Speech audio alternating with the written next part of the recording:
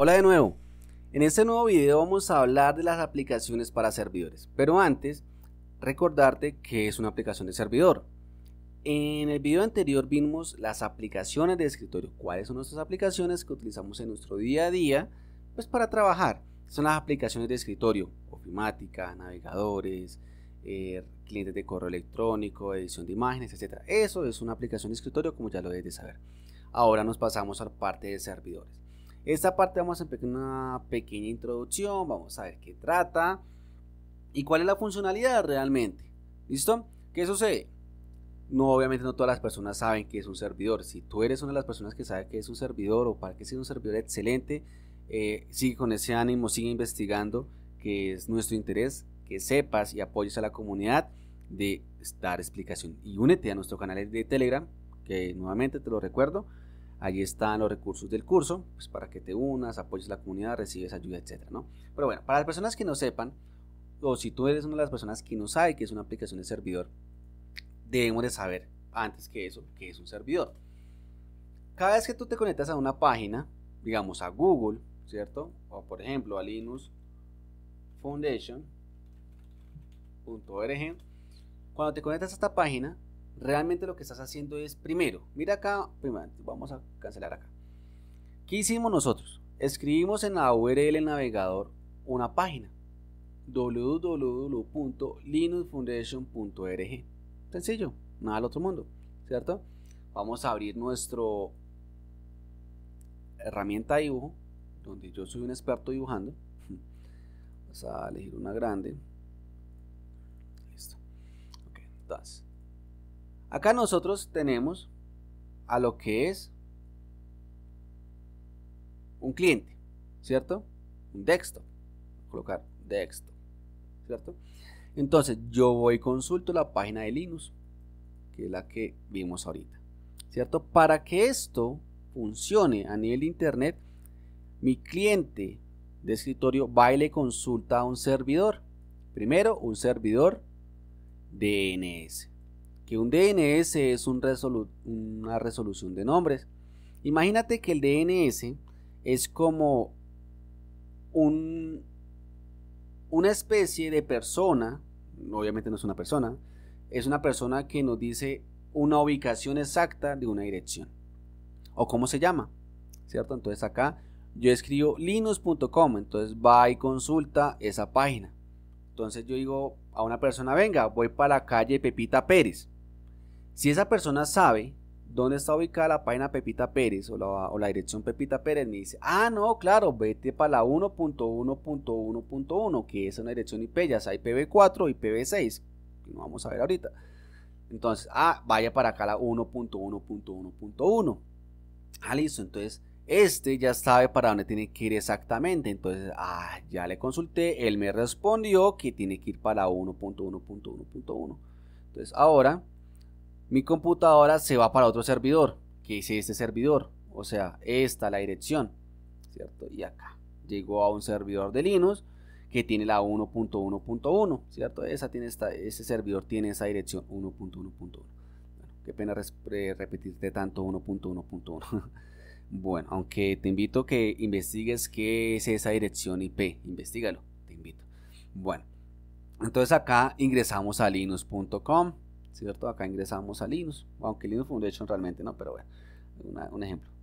esto, servidor DNS me dice, venga, señor desktop, usted me está consultando linux.com, ese linux.com tiene esta dirección, así que vaya para allá, pan, y llega acá a un servidor. ¿Y ese servidor qué tiene? Este servidor tiene la página web, pero ¿quién muestra la página web? La muestra ya sea un aplicativo que llama Apache, HTTPD, ¿cierto? Apache, mal escrito, Apache o Engines. Que son los encargados de servir, de entregar, tal cual por eso un servidor, un sirve, es un servicio que le sirve a, a, un cliente y el cliente en ese momento soy yo, este, ¿cierto? Le sirve la página, ahí le sirvió la página, imagínense como es un camarero, entonces el camarero le sirve lo que solicitó el usuario, ¿no? Entonces, utilizando esas herramientas. Entonces el servidor llegó, mira acá que llegó un servidor DNS, un resolutor de nombres, ¿cierto? Y él le, respondió y ingresó a otro servidor que es linux.com. Entonces, ¿qué sucede? Entonces ese es linux.com, el servidor de linux.com tiene un servicio que se llama Apache, que se encarga de mostrar las páginas web. Entonces, cuando yo ingresé a esta URL, ya sabes, primero consultó al DNS, le respondió al DNS, se fue a linux.com y en linux.com hay un servidor o hay un servicio que se llama Apache, que es que se encarga de mostrarme la página web. Realmente gran parte del internet, de todas las páginas web, tienen por debajo lo que es Apache y Engines, ¿vale? Que son los que se encargan de mostrarme a mí la página web.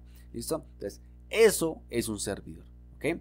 Bueno, entonces espero que haya sido claro lo que es cómo funciona realmente un servicio, cómo funciona un servidor, ¿no? Entonces, ¿qué tipo de servidores hay? Vemos que tenemos un DNS que el que se carga de resolver un nombre, ¿cierto? Lo resuelve. En Linux este DNS se llama bin9. Vamos a escribirlo acá. bin9. Vamos a aumentar la letra. Vamos a colocarla acá en 100 como para que se entienda. Listo. Entonces, en Linux existe un servicio que llama bin9 que se encarga de resolver una dirección, un nombre de dominio, un nombre de una página web, que realmente un nombre de una página web se escribe FQDN, vamos a aumentarlo,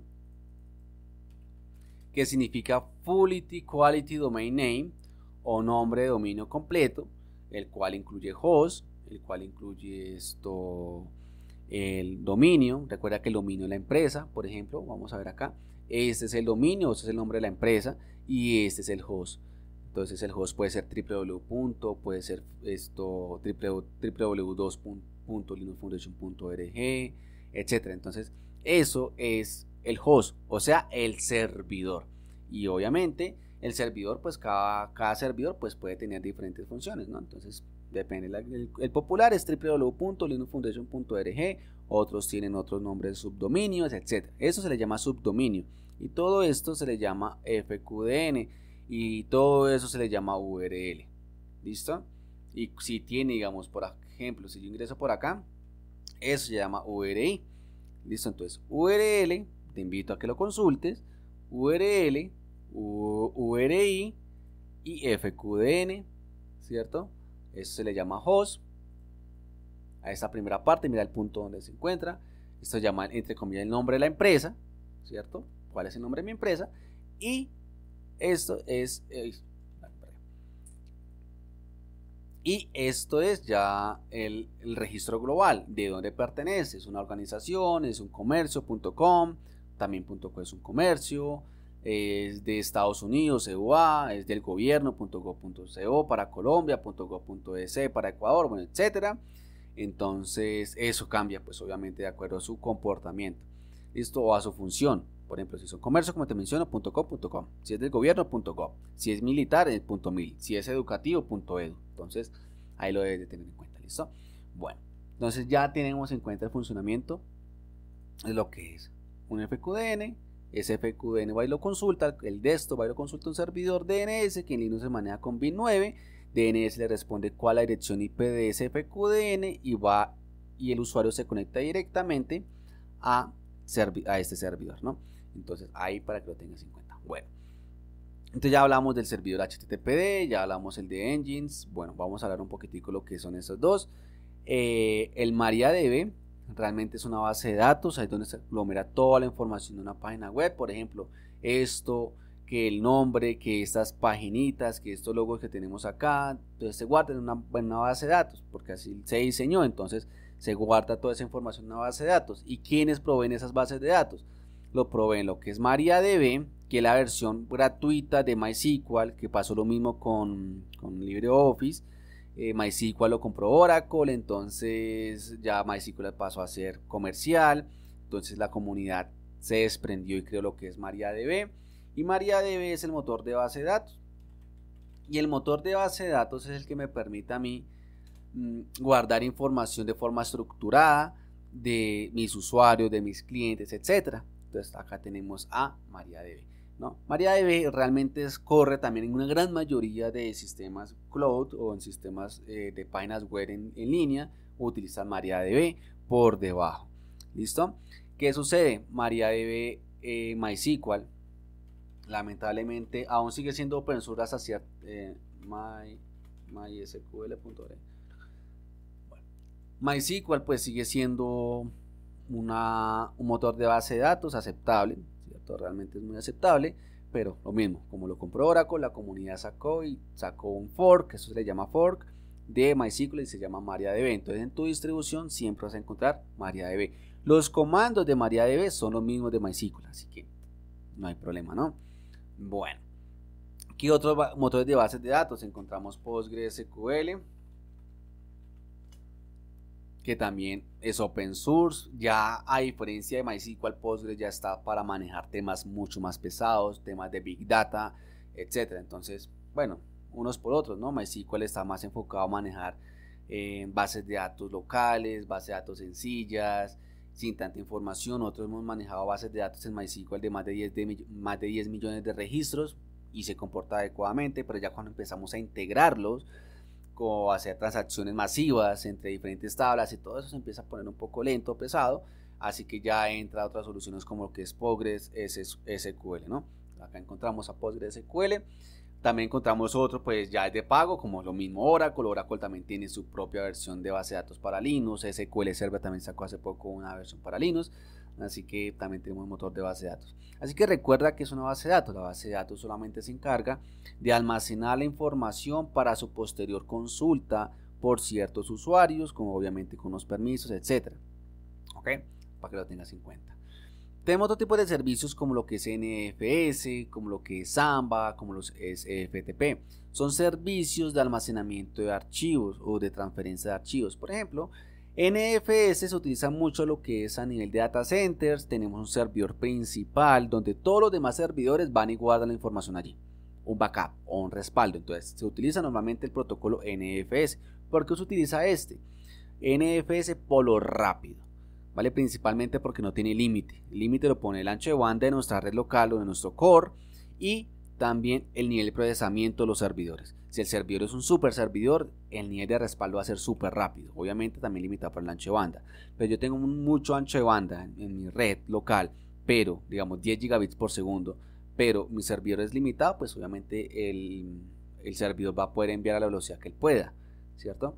Entonces, NFS es un sistema que llama Network File System, es un enfoque, es un servidor enfocado a almacenar información. Samba es similar. Samba, pues principalmente se hizo con la finalidad de proveer una compatibilidad de sistemas de archivos GNU Linux con Windows. Entonces, si tú tienes en tu empresa un file server, que tiene Linux y hay unas máquinas Windows, Windows conectadas a ese Linux para guardar información, es muy probable que tenga Samba o Zip. Entonces acá encontramos la versión de Samba. Entonces vamos a encontrar acá samba.org que maneja Samba Zip, aunque obviamente ya no se recomienda, aunque por tema de directorio activo, porque con Samba yo también puedo construir un directorio activo para Windows utilizando Linux. Mírate lo interesante. Entonces también se puede hacer, ¿no? Eh, Samba lamentablemente pues tiene un límite de 30 megas de transferencia por archivo, así que pues bueno, no, no, es muy rápido, es más que todo enfocado a usuario final, que el usuario pues no comparte mucha información ni no utiliza mucho ancho de banda, entonces es muy bueno hasta ese punto, ¿no? Encontramos otro que se llama FTP, pronto lo habrás escuchado, que, ah, que el servidor FTP, etcétera. Realmente nosotros, utilizamos Falsila, es un, es un cliente de correo, un correo, cliente de correo, un cliente de FTP eh, que permite este tipo de conexiones hacia servidores FTP. De pronto ya tienes experiencia con ese tipo de servidores, excelente. ¿Qué sucede? FTP lamentablemente ya es un protocolo inseguro. Ya existen en GNU Linux diferentes herramientas como Very Secure FTP, ¿cierto?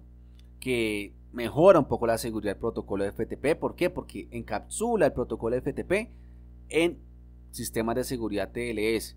¿Qué ventaja tiene eso? Pues que no vamos el atacante no va a ver los archivos que transfiera. En cambio, si lo hacemos con FTP duro, o sea, puro digo, no, el atacante va a poder ver los archivos y va a poder capturarlo. Así que estamos enviando información confidencial a un servidor FTP. Tengo por seguro que un atacante nos puede ver el, el que, el, los paquetes que estamos enviando, la información que estamos enviando.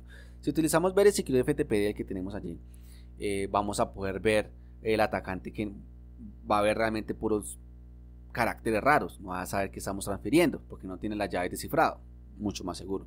Pero si no quieres matarte la cabeza con servicios de FTP, etcétera, se utiliza lo que se llama SFTP, que es el protocolo SSH, ¿cierto? De transferencia de archivos. O sea, se utiliza el mismo protocolo SSH pues para enviar archivos. ¿Qué pasa con esto? Pues nos reduce costos, nos reduce carga administrativa y es mucho más seguro y mucho más rápido. Entonces tenemos esa gran ventaja con SFTP. ¿vale? Esto hablando de ciertos servicios, hablamos del servicio HTTP, el que sirve a las páginas web, eso es solo un servicio HTTP, acá lo mismo estamos viendo. Eh, engines es el otro servidor de, que sirve páginas web, acá lo tenemos, aunque sirve para muchas más cosas, como por ejemplo procesos inversos, etcétera, para yo conectarme desde afuera a un, a un servidor local, puedo utilizar engines el motor de base de datos, MySQL, Network File System y Samba. ¿Vale? Bueno, entonces espero que esta pequeña introducción, lo que corresponde a las aplicaciones globales que se utilizan en GNU Linux para servir servicios, eh, te haya sido claro. Recuerda que cualquier duda de estos videos las puedes hacer acá en el foro, acá directamente en Udemy, no acá directamente en el curso, qué pena para poder eh, obtener unas, una respuesta súper rápida. Si no, nuestro grupo de Telegram también lo puedes hacer sin ningún tipo de compromiso, en cualquier hora, cualquier tiempo, en la disposición de nuestro tiempo y de nuestros compañeros también lo vamos a responder. ¿vale? Bueno, en el siguiente video vamos a hablar un poco de lo que son los lenguajes de programación que se utilizan mucho en Linux, pues para que lo tengas en cuenta y sepas a lo cual te vas a enfrentar. Así que nos vemos en el próximo video.